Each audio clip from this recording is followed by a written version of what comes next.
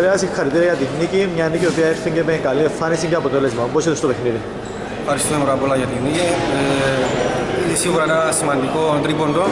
Θέλαμε πάρα πολύ, δείξαμε από την αρχή ότι θέλαμε να πάρουμε την νίκη. Καταφέραμε να κερδίσουμε με ένα ευρύ σκορ.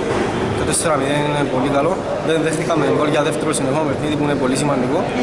Και παίξαμε αρκετό καλό, καλό ποδόσφαιρο.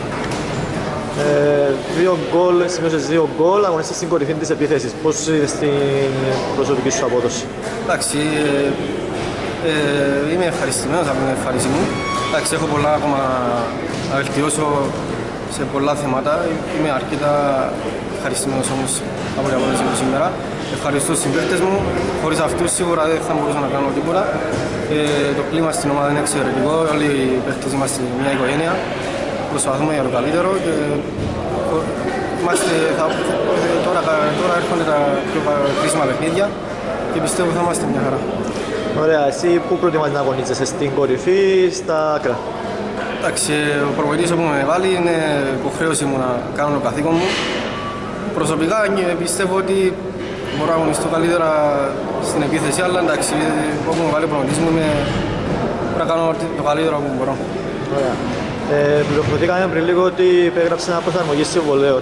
Ναι. Ε, τε, το, το μέλλον σου σε όρθωση πώς το βλέπεις τώρα με έναν καλύτερο συμβόλαιο με πιο ευνοϊκούς όρους; Σίγουρα το θέλαμε και οι δύο, και, και εγώ και η ομάδα. Είμαι πολύ ευχαριστημένος που έγραψα ένα συμβόλαιο με όρθωση.